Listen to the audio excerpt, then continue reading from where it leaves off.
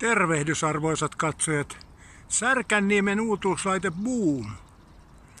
Eli on selvästi korkeampi kuin toi aikaisempi laite tossa. Ja kuun alustahan tästä pääsee nauttimaan käytännössä.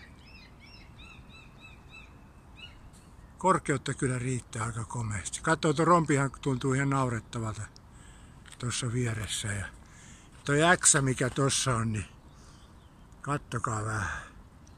No tietysti tuo X kääntyy ympäri vähän, mutta on se kyllä aikamoinen vehje. Kuun alussa nauttii.